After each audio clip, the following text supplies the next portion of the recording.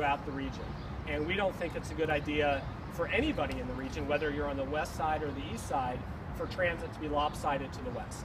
Uh, and so uh, East Metro Strong's uh, mission is to support accelerated development of better, more, and more reliable transit in the East Metro.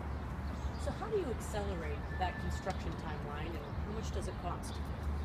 So in order to accelerate investment, we need funds to invest. Uh, East Metro Strong supports an increase in uh, regional transit funding.